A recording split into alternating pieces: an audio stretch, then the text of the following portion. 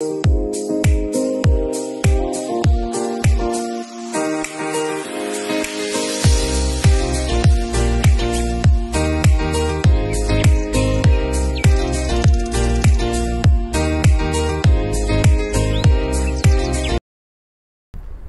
મિત્રો, પૂજા વિદ્યાલયમાં ધોરણ નવમાં ફરી એક સ્વાગત છે તમારું.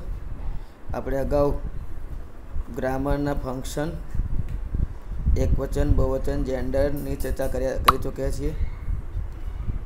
આજે આપણે પાઠ ચાર.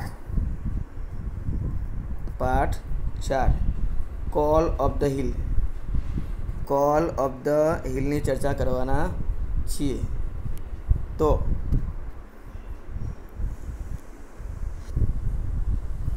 પાઠનું નામ છે કોલ ઓફ ધ હિલ. ટેકરીઓ તરફથી આવતો ટહુકો અવાજ. કોલ ઓફ ધ હિલ એટલે ટેકરીઓ ઉપરથી આવતો ટહુકો અથવા અવાજ. એ પાઠની આજે આપણે ચર્ચા કરવાના છીએ. તો ધ્યાન રાખજો, પાઠમાં સ્પેલિંગ તમને દેખાય છે. એ સ્પેલિંગ તમારે નોટબુકમાં લખતા જવાના છે. હું પાઠ સમજાવતો જઈશ અને તમે નોટમાં એ સ્પેલિંગને લખતા જવાના છે. હું રાઉન્ડ પણ કરતો જઈશ. બરાબર? તો ધ્યાન રાખજો હવે. આમાં આ પાઠની સ્ટોરી એવી છે કે અબુ મિયા નામના એક વૃદ્ધ માણસ છે. એમને એક બક, કલુઆ નામની બકરી હતી. એ એમની પાછળથી ભાગી ગઈ. ટેકરીઓ તરફ ગઈ, પાછી આવી નહીં, કોઈ જંગલી પ્રાણી એને મારી નાખી. એટલે બધું દુઃખી દુઃખી થઈ જાય થઈ જાય છે. અને થોડા વખત પછી એ બીજી બકરી લાવે છે નવી. એ બકરીનું નામ ચાંદની રાખે છે. યાદ રાખજો, પહેલી બકરી કલવા બીજી બકરી ચાંદની. એ ચાંદનીને પ્રેમથી ખાવા દાણા, અનાજ, કઠોળ, ફળ બધું આપે છે. તેને દોરડાથી બાંધી રાખે છે. એ બકરીને પણ થોડા દિવસોમાં ટેકરીઓ તરફ આકર્ષણ થાય છે. અને એ એ બકરી પણ ત્યાંથી ભાગ અબુ ચાચા પાસેથી ભાગી જાય છે અને એને પણ વરુ દ્વારા મારી નાખવામાં આવે છે. અને છેલ્લે વરુ અને બકરી ચાંદનીની લડાઈનું વર્ણન પાઠમાં કરેલું છે. તો ધ્યાન રાખજો, પાઠને હું લાઇન ટુ લાઈન સમજાવું છું. બરાબર? તમારે એ ધ્યાન રાખવાનું છે. બરાબર? ભણાવું એને. અને સ્પેલિંગનું ગુજરાતી લખતા રહેવાનું છે. તો ધ્યાન રાખજો, પહેલાંથી પહેલાં લાઈન. હે, Abu Miya, looking sad why are you sitting alone today અરે Abu Miya looking sad sad એટલે દુઃખી દેખાવો છો?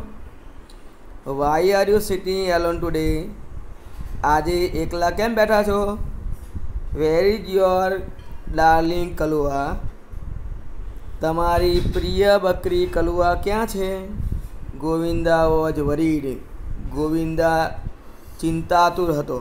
વરીડ એટલે ચિંતાતુર હતો. એ ગોવિંદાએ અબુ મિયાને કીધું કે અબુ મિયા દુઃખી છો? આજે કેમ એકલા બેઠા છો? તમારી પ્યારી કલવા ક્યાં છે? એવો પ્રશ્ન ગોવિંદાએ કર્યો અબુ મિયાના પાડોશી ગોવિંદાએ. Perhaps I have lost her I have seen her footprints going up the hill Abu મિયાએ જવાબ આપ્યો કે કદાચ આઈ હેવ લોસ્ટ હર મેં બકરીને ગુમાવી દીધી છે. I have seen her footprint footprint પગની છાપ. ગોઈંગ અપ ધ હિલ એટલે ટેકરી તરફ જોઈ છે. That devil that devil must have killed her devil એટલે શૈતાન રાક્ષસે એ બકરીને ચોક્કસ મસ્ટ એટલે મારી નાખી હશે.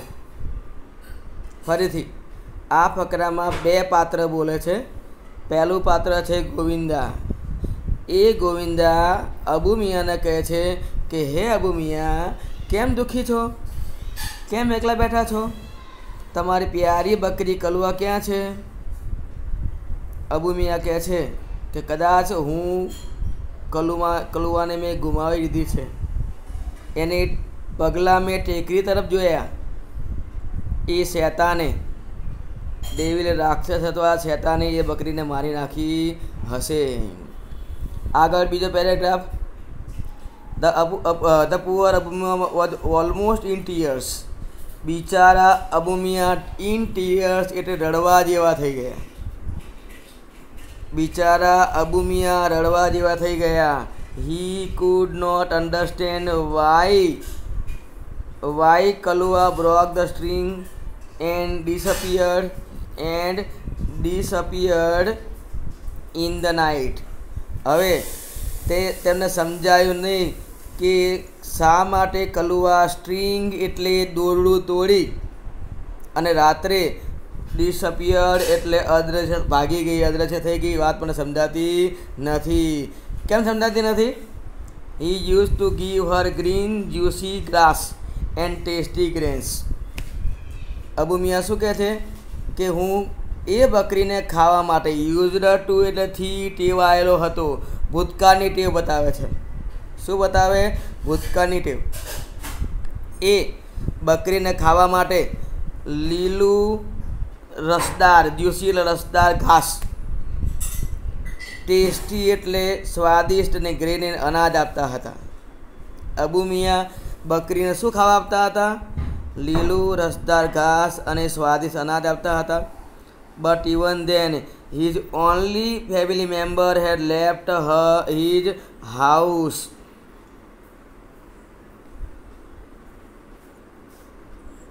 left his house અને તો પણ તેની એકમાત્ર કુટુંબના સભ્યો એટલે કે બકરી કલવા તેમનું ઘર છોડીને ભાગી ગઈ ધ્યાન રાખજો, અબુમિયા રડવા જેવા થઈ જાય છે. એને સમજાતું નથી કે બકરી દોરી તોડી અને રાત્રે કેમ ભાગી ગઈ. કારણ કે એ વિચારે છે કે હું બકરીને ખાવા માટે લીલું, રસદાર ઘાસ અને સ્વાદિષ્ટ અનાજ આપું છું. તો પણ એ મારી કુટુંબની સભ્ય એ બકરી મારું ઘર છોડીને ભાગી ગઈ ધ્યાન રાખજો ત્રીજો paragraph after some days Abu Miya brought another goat થોડા દિવસો પછી અબુમિયાએ બીજી બકરી ખરીદી this one was pretty white as snow and had two little horns and a lovely bright eyes pair of lovely bright eyes હવે આ બકરીનું વર્ણન ધ્યાન રાખજો. નવી બકરીનું વર્ણન એ સુંદર હતી.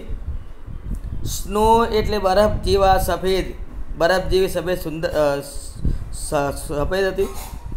એને બે નાના શિંગડા હતા, બે નાના શિંગડા હતા. અને pair of pair of lovely bright red eyes પેલ જોડ જોડ બે. બે સુંદર ચમકતી લાલ આંખો હતી. નવી બકરી સુંદર હતી. બરફ જેવી સફેદ હતી. એને બે નાના શિંગડા હતા. એને સુંદર ચમકતી લાલ આંખો હતી. I will call you Chandni. Abu મિયાએ કીધું, નવી બકરીને કે હાસ્તી હું તારું નામ ચાંદની રાખું છું. Caressing her soft fur he said Abu મિયાએ કીધું. કેરેસિંગ એટલે પંપાડીને. સોફ્ટ એટલે નરમ, ફર એટલે રૂવાટી. અબુમિયાએ એ નવી બકરી એટલે કે ચાંદનીની નરમ રૂવાટી પંપાડીને કહ્યું કે આજથી તારું નામ ચાંદની. ફરીથી એકવાર. થોડા દિવસ પછી અબુમિયાએ નવી બકરી ખરીદી. આ બકરી કેવી હતી? સુંદર સુંદર હતી. બરફ જેવી સફેદ હતી અને બે તેના શિંગડા હતા અને સુંદર ચમકતી લાલ આંખો હતી. એટલે અબુ મિયાએ એ બકરીનું નામ ચાંદની રાખ્યું અને કીધું કે હું એની રૂમાટીને પંપાડીને કીધું કે આજથી હું તારું નામ ચાંદની રાખું છું.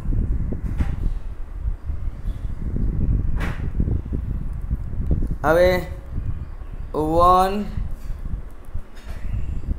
one fine morning his neighbour Govind appear ફરીથી એકવાર. એક સારી સવારે તેના પડોશી ગોવિંદા ફરી એકવાર આવ્યો. He saw Abu Miya talking to his only family member તેણે જોયું કે અબુમિયા તેની એકમાત્ર કુટુંબની સભ્ય એટલે કે બકરી, નવી બકરી, ચાંદની જોડે વાતો કરતા હતા. Hey Abu Abu chacha you look happy and and healthy અરે અબુ ચાચા તમે ખુશ અને તંદુરસ્ત દેખાવો છો? How life how life now શું કહે છે? કે હાઉ ઇઝ લાઈફ નાવ તમારી જિંદગી કેવી ચાલે છે? ફરીથી, એક સારી સવારે તેના પડોશી ગોવિંદા આવ્યા. તેમણે અબુ મિયાને તેની બકરી જોડે વાતો કરતા જોયા અને કીધું, અરે, અબુ ચાચા, તમે ખુશ અને તંદુરસ્ત દેખાવો છો. તમારો જિંદગી કેવી ચાલે છે? અબુ મિયાએ કીધું I am the happiest person Govinda Govinda, હવે હું સૌથી સુખી માણસ છું. કોણ છું? સૌથી સુખી માણસ છું. Chandni had brought new life to me Chandni મારા માટે નવું લાઈફ, નવું જીવન લાવી છે. સી લવ્સ મી એ લોટ તે મને બહુ ચાહે છે. And even I can't live without her. હું પણ તેના વગર બકરી વગર રહી શકતો નથી. Abu chacha was brimming with joy. Beaming. Beaming એટલે ચમકવું. જોય એટલે આનંદ સાથે ચમકતા હતા. એટલે ખુશ દેખાતા હતા. ફરીથી એકવાર. ચાચાએ કીધું, શું કીધું? ગોવિંદા, હું સૌથી સુખી માણસ છું. ચાંદની મારા માટે નવું જીવન લાવી છે. તે મને ખૂબ જ ચાહે છે. હું એના વગર રહી શકતો નથી. અબુ ચાચા આનંદ સાથે ચમકતા હતા. બટ પણ what were you what were you telling her ગોવિંદાએ કીધું, પણ ચાચા, તમે બકરીને શું કહેતા હતા? I saw you talking with your darling મેં જોયું તમે તમારી પ્રિય બકરી જોડે વાતો કરતા હતા. ઓહ, yes. I was telling her a story અરે હા, હું તો એને એક વાર્તા કહેતો હતો. શું કહેતો હતો? વાર્તા. શેની? કલુવાની વાર્તા. કલુવાની કઈ વાર્તા sad end a bloodthirsty teeth sad એટલે દુઃખદ એન્ડ એટલે અંત. બ્લડ થર્ટી ટીથ એટલે લોહી તરસ્યા દાંત વડે. કલુવાની કથા કહેતો હતો. કોને? ડેવિલ એટલે શેતાન, હિલ ટેકરી ઉપર. અબુ ચાતાએ કીધું કે હા, હું તો. કોને? એ ચાંદનીને કહેતો હતો કે, ટેકરી ઉપર રહેલા એ શેતાને તેના લોહી તરસ્યા દાંત વડે કલુવાનો દુઃખદ અંત લાવ્યા હતા. એ કલુવાના દુઃખદ અંતની વાત ચાંદનીને કરતો હતો. અબુ મિયા રિપ્લાઈડ અબુ મિયાએ જવાબ આપ્યો. રિપ્લાઈડ એટલે જવાબ આપ્યો. But my dear Chandni will never leave me પણ મને ખબર છે કે આ મારી પ્રિય ચાંદની મને છોડીને જવાની નથી. She so understanding and happy with me he added તેને કીધું, આ ચાંદની ખૂબ જ સમજદાર છે અને ખૂબ જ ખુશ છે. તેમણે ઉમેર્યું, એટલે આ ચાંદની મને છોડીને જવાની નથી. ફરીથી એકવાર. પહેલાં ગોવિંદાએ પૂછ્યું કે તમે બકરીને શું કહેતા હતા? મેં તમને બકરી જોડે વાત કરતા જોયા. એ વખતે અબુ તાતાએ કીધું કે હું બકરીને એવું કહેતો હતો કે ટેકરી ઉપર રહેલા એ શેતાનના લોહી તરસ્યા દાંત વડે કલુવાનો જે દુઃખદ અંત આવ્યો હતો, એની હું કથા વાર્તા કહેતો હતો. એવો અબુમિયા જવાબ આપ્યો પણ મારી આ ચાંદની મને કદી છોડી જશે નહીં, કારણ કે એ અન્ડરસ્ટેન્ડિંગ સમજદાર છે અને હેપી છે. કેવી છે? સમજદાર છે અને ખુશ છે. બરાબર? ધ્યાન રાખજો. બીજું પેજ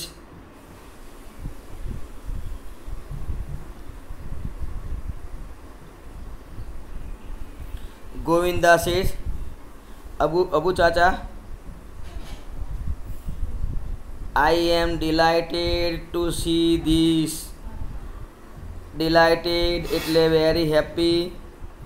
ડિલાઇટેડ એટલે વેરી happy. તમને આ રીતે ખુશ જોઈ અને મને ખૂબ જ આનંદ થાય છે આઈ એમ શ્યોર મને ખાતરી છે Chandni will accompany you till your last breath મને ખાતરી છે કે ચાંદની તમારા જીવનના છેલ્લા શ્વાસ શ્વાસ સુધી તમને સાથ આપશે. ફરીથી, ગોવિંદાએ કીધું, અબુ ચાચા, તમને આ રીતે ખુશ જોઈએ એને હું ખુશ થઉં છું. મને ખાતરી છે, ચાંદી તમારા છેલ્લા શ્વાસ સુધી તમને સાથ આપશે. સમ યર પાસ્ટ થોડા વર્ષો પસાર થયા.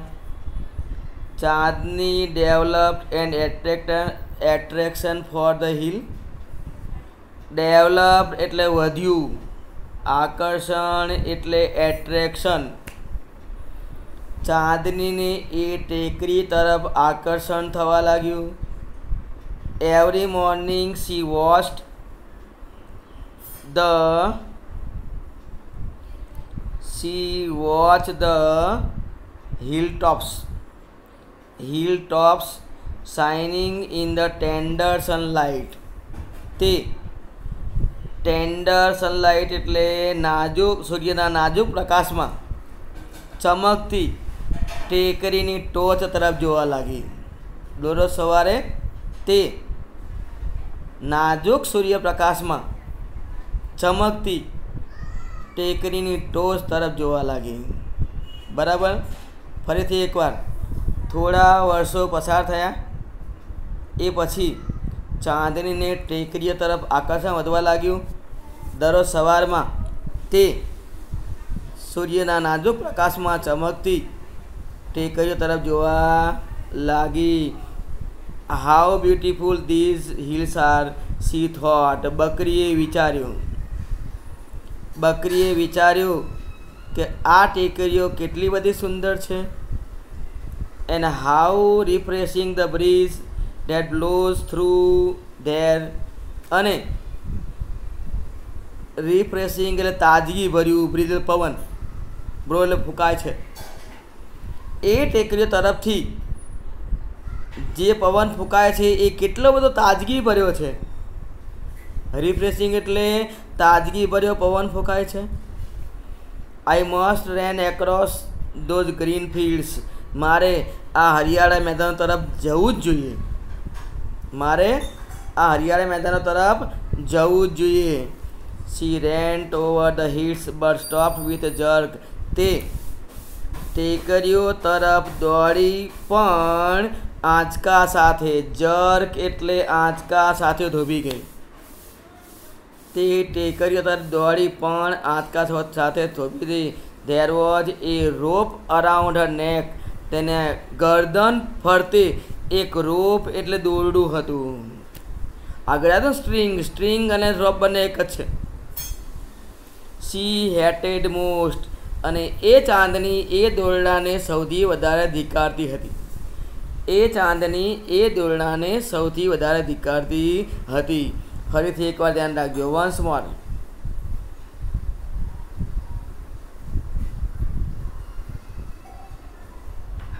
વન્સ મોર યાદ રાખજો, ચાંદનીએ વિચાર્યું કે આ ટેકરીઓ કેટલી બધી સુંદર છે અને એ ટેકરીઓમાંથી પવન ફૂંકાય છે, કેટલો બધો તાજગી ભર્યો છે.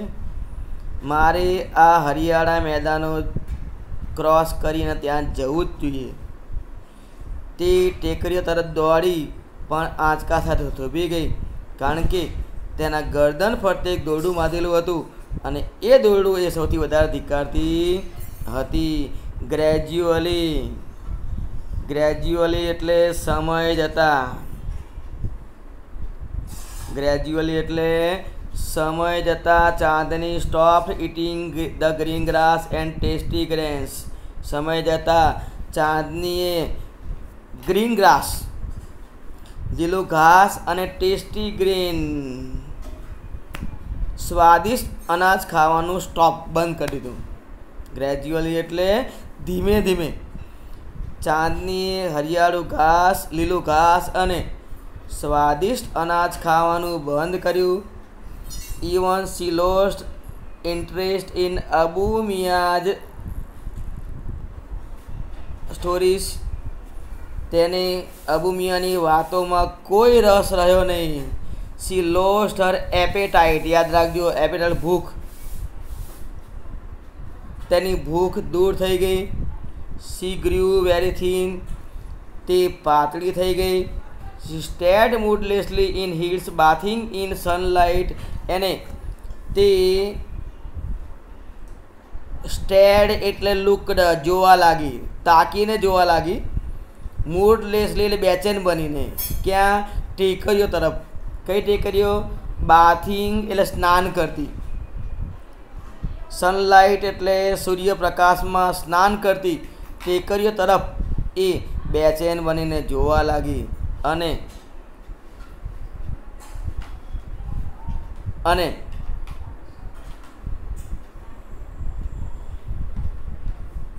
હવે એ સૂર્યપ્રકાશમાં સ્નાન કરતી અને વાદળાઓ સાથે રમત રમતી.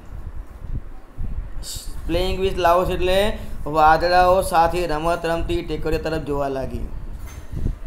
ફરીથી એકવાર. સમય જતાં ચાંદનીએ શું કર્યું? લીલું ઘાસ અને સ્વાદિષ્ટ અનાજ ખાવાનું બંધ કર્યું. તેની અબુ ચાચાની વાર્તા, વાતોમાં કોઈ રસ રહ્યો નહીં. તેની ભૂખ ગુમાવી દીધી. ખૂબ જ પાતળી થઈ ગઈ.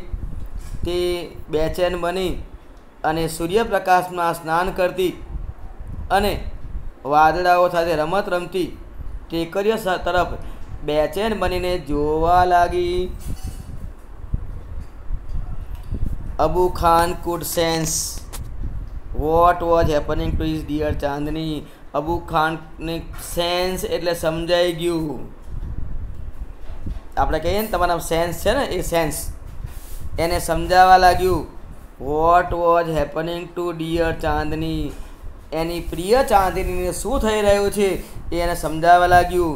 એ હર ઇન્ટુ એ સ્મોલ હટ તેણે એ બકરીને એક નાની ઝૂંપડીમાં ધક્કો માર્યો એન્ડ શટ ધ ડોર બારણું બંધ કરી દીધું.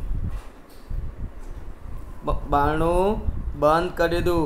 But forgot to close the small window at the back પણ પાછળ જે બારી હતી, ઝૂંપડીની પાછળની નાની બારી છે, એ બારી બંધ કરવાનું એ ભૂલી ગયા. ફરીથી, અબુ કા, અબુ ચાચાને સમજાઈ ગયું કે ચાંદનીને શું થઈ રહ્યું છે? એટલે અબુ ચાચાએ બકરીને શું કર્યું? એક નાની ઝૂંપડીમાં પૂરી દીધી અને બારણું બંધ કરી દીધું. પણ પાછળની બારી બંધ કરવાનું ભૂલી ગયા.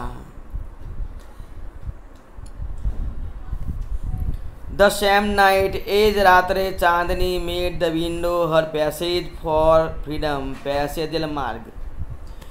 એ જ રાત્રે ચાંદની પોતાની ફ્રીડમ એટલે આઝાદી માટે એ બારીને પોતાનો માર્ગ બનાવ્યો. શું બનાવ્યો? માર્ગ બનાવ્યો. વેચ Chandni reach the hill top reach the hill top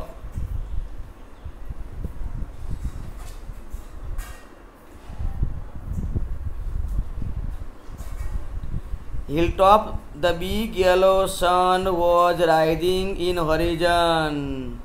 અને જ્યારે તે ટેકરીની ટોચ ઉપર પહોંચી ત્યારે એક મોટો પીળો સૂર્ય હોરિઝન એટલે ક્ષિતિજમાં ઉગી રહ્યો હતો. મોટો પીળો સૂર્ય ક્ષિતિજમાં ઉગી રહ્યો હતો જ્યારે તે ટેકરી તરફ, ટેકરી પર પહોંચી ત્યારે. હોરિઝન એટલે એ કાલ્પનિક રેખા કે જ્યાં સૂર્ય અને પૃથ્વી એકબીજાને મળતા દેખાય તે she was overflowing with joy and wonder Chandni ઉભરાતી હતી. શેનાથી? આનંદ અને આશ્ચર્યથી એ ઉભરાતી હતી. શેનાથી? આનંદ અને આશ્ચર્યથી ઉભરાતી હતી. The green grass under feet became golden yellow એના પગ નીચેનું જે લીલું ઘાસ છે, એ પણ સૂર્યના કિરણોને લીધે. સોનેરી પીળા રંગનું થઈ થઈ ગયું હતું. The wind sang and endless song to welcome. પવન પણ સ્વાગતનું. એન્ડલેસ એટલે અનંત ગીત ગાતો હતો. પવન પણ એનું સ્વાગત કરવા માટે અનંત ગીત ગાતો હતો. Chandni felt Chandni felt, as if Chandni felt as if she a meeting her mother after years of separation Chandni એવું લાગતું હતું કે જાણે કે એ વર્ષોના વિયોગ પછી.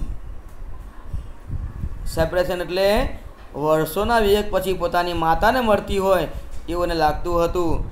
Now different how different all this was from Abu Abu Khan's prison prison house અને આ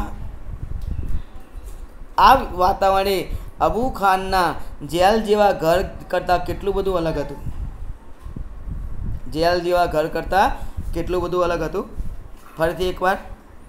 જ્યારે ચાંદની ટેકરીની ટોચ ઉપર પહોંચી ત્યારે ક્ષિતિજ ઉપર, ક્ષિતિજમાં પીળો મોટો સૂર્ય ઉગી રહ્યો હતો.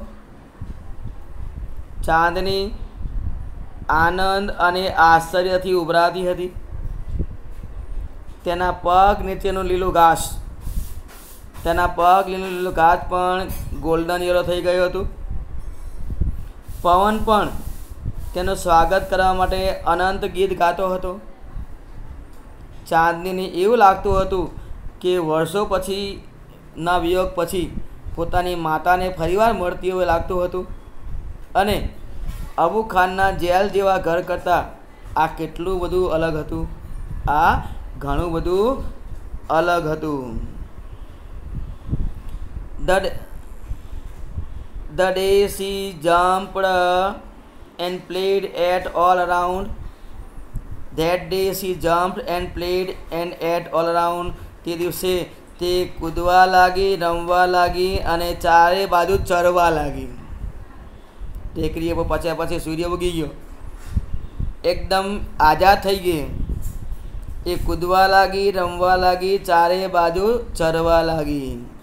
She was on the top of the world તેને એવું લાગતું હતું કે દુનિયાના ટોચ ઉપર પહોંચી ગઈ. It was the happiest day in Chandni's life ચાંદનીના જીવનમાં સૌથી આનંદનો દિવસ હતો. કેવો સૌથી આનંદનો દિવસ હતો. કેવો? ચાંદનીના જીવનમાં સૌથી આનંદનો દિવસ હતો. The sun disappeared the sun disappeared in the hills સૂર્ય હવે દિવસ પૂરો થયો. સૂર્ય ટેકરીઓ પાછળ આથમવા લાગ્યો. Soon darkness cover the grass તરત જ ઘાસ ઉપર અંધારો છવાઈ ગયું. ધ ફ્લાવર ઘાસ, ફૂલો અને વૃક્ષો ઉપર અંધારો થઈ ગયું. વૃક્ષ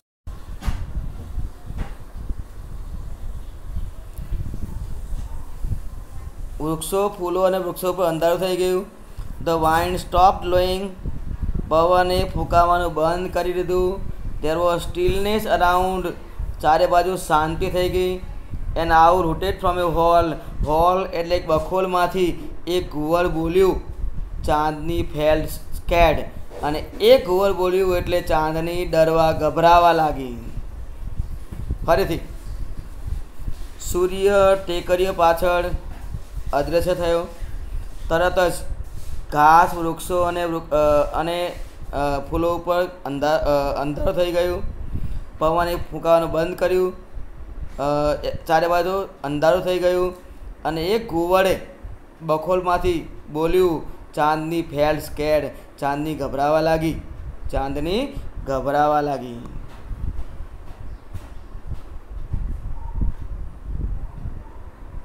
ચાંદને ડર લાગવા માંડ્યો.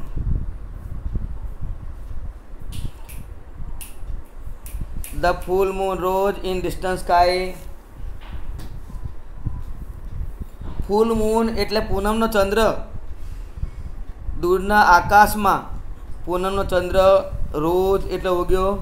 એની silver light Chandni saw two two bright eyes and sharp teeth હવે ચા સિલ્વર લાઇટ ચાંદી ચાંદી જેવા પ્રકાશમાં ચાંદની બે ચમકતી આંખો અને તીક્ષ્ણ દાંત જોયા. શું જોયું? બે ચમકતી આંખો અને તીક્ષ્ણ દાંત જોયા. Moving slowly towards her moving slowly એટલે ધીમે ધીમે આવતા હતા. The devil was not in a hurry એ શેતાન, રાક્ષસ, હરી એટલે ઉતાવળમાં ન હતો. He knew that the goat was lost his food અને એ જા, એને એ જાણતો હતો કે એ બા, એ બકરી છે, એનો જ ખોરાક હતી. ફરીથી, અંધારું થઈ ગયું. ચાંદનીને દૂરથી બે આંખો અને તીક્ષ્ણ દાંત દેખાયા, તેની તરફ આવતા દેખાયા, એ શૈતાનને જલ્દી હતી નહીં. The wolf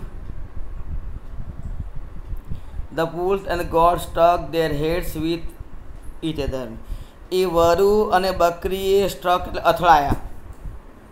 હેડ એટલે માથા, એકબીજા સાથે માથા અથડાયા. He was big and ferocious where whereas she was she was small but not weak હવે એ રાક્ષસ, એટલે પ્રાણી છે બીજું, એ કેવું હતું? મોટું હતું, ઘાતકી હતું. જ્યારે ચાંદની નાની હતી પણ કમજોર ન હતી. Chandni stood firm on her leg Chandni પોતાના પગ ઉપર મક્કમ બનીને ઊભી રહી. Head slightly bent head slightly bent and strong horns aimed at the devil Chandni firm એટલે મક્કમ બનીને ઊભી રહી. મક્કમ બનીને પોતાના પગ ઊભી રહી. જરાક માથું નમાવ્યું. અને તેના મજબૂત શિંગડા છે આ શેતાન તરફ તાક્યા. કોના તરફ? શેતાન તરફ એ શિંગડા તાક્યા. અને she look like a brave soldier ready to fight a cruel enemy અને એ લુક લાઈક એટલે એવી લાગતી હતી, જાણે કે એક બહાદુર સૈનિક ક્રૂર દુશ્મન સામે લડવા માટે તૈયાર હોય. એમ એ બહાદુર સૈનિક જેવી લાગતી હતી. ધ્યાન રાખજો ફરીથી એકવાર. વરુ, વુલ્ફ એટલે વરુ અને બકરી એકબીજા જોડે મા શિંગડા, માથા અથડાવે. વરુ એ મોટું અને ઘાસકી હતું. જ્યારે ચાંદની નાની હતી પણ કમજોર ન હતી. ચાંદની પોતાના પગ ઉપર મક્કમ પણ ઊભી રહી. તેનું માથું જરાક નમાવ્યું અને તેના મજબૂત શિંગડા એ શેતાન તરફ તાક્યા તે ક્રૂર સૈનિક સામે લડવા માટે તૈયાર એવા સૈનિક જેવી લાગતી હતી. ધ ફાઇટ બિગેન લડાઈ શરૂ થઈ. It went on through the night આખી રાત લડાઈ થઈ. The moon began to grow pale and suddenly hid behind the clouds ચંદ્ર ગ્રો પેલ ઝાંખો થવા લાગ્યો અને અચાનક વાદળાઓ પાછળ છંતાઈ ગયો. કઈ વાર ક્યાં છંતાઈ ગયો? વાદળાઓ પાછળ છંતાઈ ગયો. The stars also disappear one by one એક પછી એક આકાશના તારા પણ અદૃશ્ય થવા લાગ્યા. A faint light appear in the east, પૂર્વ દિશામાં. ઝાંખો પ્રકાશ દેખાવા લાગ્યો. The first rays of sun saw Chandni lying on the ground. સૂર્યના પહેલાં કિરણથી કિરણમાં દેખાવા લાગ્યું કે ચાંદની જમીન પર પડી હતી. She was completely she was completely soaked in blood. તે સંપૂર્ણપણે લોહીથી તરબોળ થયેલી હતી. The wolf tired and sleepy was getting ready to devour her અને એ વરુ ટાયર થાકેલું હતું અને ઊંઘતું ઊંઘમાં હતું. એ આ ચાંદનીને ડેવર એટલે ખાવા માટે તૈયાર હતું. ચાંદનીને ખાવા માટે તૈયાર હતું. ફરીથી લડાઈ શરૂ થઈ. આખી રાત લડાઈ ચાલી. ચંદ્ર ધીમે ધીમે ઝાંખો થવા લાગ્યો. અચાનક વાદળા પાછા છંતાવા લાગ્યો. આકાશના તારા પણ એક પછી એક ગાયબ થવા લાગ્યા. ઝાંખો પ્રકાશ પૂર્વ દિશામાં દેખાવા લાગ્યો. પહેલાં સૂર્યના પહેલાં કિરણોથી ચાંદની જમીન ઉપર પડેલી દેખાઈ. તે સંપૂર્ણપણે લોહીથી તરબોળ થયેલી હતી. એ વરુ થાકેલું હતું, ઊંઘમાં હતું અને એ ચાંદનીને ખાવાની તૈયારી કરતું હતું. A flock a flock of bird sitting on tree or debating the result of the fight flock એટલે પક્ષીનું ટોળું. વૃક્ષ ઉપર બેઠેલું પક્ષીનું ટોળું. આ બંનેના લડાઈના પરિણામની ચર્ચા કરતું હતું. ડિબેટિંગ એટલે ચર્ચા કરતું હતું. પક્ષીઓ ચર્ચા કરતા હતા, કોણ જીતશે? So with the winner asked a small one એક નાના પક્ષીએ પૂછ્યું બીજા પક્ષીઓને કે, કોણ વિજેતા કોણ છે? The wolf of course most of the others declared બધા પક્ષીઓ એક સાથે કીધું કે, વરુદ જીતે ને વરુ સિવાય કોઈ ના જીતે.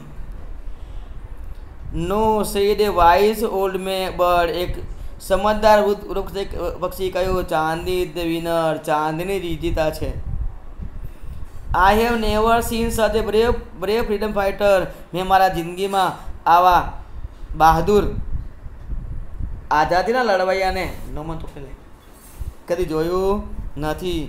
મેં મારા જીવનમાં આવા બહાદુર આઝાદીના લડવૈયાને કદી જોયું નથી. બરાબર? ધ્યાન રાખજો. મેં મારા જીવનમાં આવા કદી બહાદુર લડવૈયાને જોયું નથી. બરાબર? એટલે યાદ રાખવાનું છે, આ સ્ટોરી આખી બે બકરીઓ, પહેલી કલુવા છે, બીજી ચાંદની છે. પહેલી કલુવા છે, બીજી ચાંદની છે. બરાબર? અને એ બંને બકરીઓ સારી રીતે રાખવા છતાં બંને બકરીઓ અબુ ચાચાને છોડીને જતી રહે છે. યાદ રાખજો. અબુ તાતાને છોડીને જતી રહે છે. એટલે પક્ષી હોય કે પ્રાણી હોય કે મનુષ્ય હોય, કોઈને બંધન ગમતું નથી. બંધનમાં રહેવાનું કોઈને ગમતું નથી. એટલે યાદ રાખવાનું, મુક્ત જીવન જીવવાનું, પક્ષીઓને પણ મુક્ત રાખવાના. અને આ પ્રમાણે આપણે, બરાબર? આ પ્રમાણે આ પાઠ છે. એમાંથી આપણને ફકરાવાળા પ્રશ્નો પૂછાય. બીજું? બીજું? કોણ બોલે છે, કોને કહે છે? હું શેષ તું હું પૂછાય. ત્રીજું, ખરા ખોટા પૂછાય. અને હું બોલી દઉં છું યાદ રાખજો. એક્સરસાઇઝ કઈ લખવાની? બરાબર? ચોપડી ખોલીને ટીક કરતા રહેજો. બરાબર? વી વન લખવાની. V two. V one, V two. C one, C two. C one, C two. ધ્યાન રાખજો. આ પ્રમાણે એક્સરસાઇઝ લખવાની છે. બરાબર? પછી સી ફાઇવ સી ફાઇવ એના પછી છેક. એલ થ્રી એલ થ્રીમાં આખું. એલ થ્રીમાં એ બી સી પછી L five A L five A એના પછી ડબલ્યુ થ્રી રાઈટ પેરેગ્રાફ એ તમારે નિબંધની નોટમાં લખવાનો છે. રાઇટ એ પેરેગ્રાફ ડબલ્યુ થ્રીમાં જેટલા યાદ હતા, આગળના પાર્ટ પણ. આગળ વન ટુ થ્રી ફોર ગમે તે પાર્ટ ચાલે. ડબલ થ્રીમાં જેટલા રાઇટિંગ પેરેગ્રાફ લખેલું હોય, એ બધા એસેમાં લખવાના છે. તો આ પ્રમાણે આપણો પાઠ નંબર ચાર પૂરો થઈ ગયો છે. બરાબર? તો ઓકે બાય બાય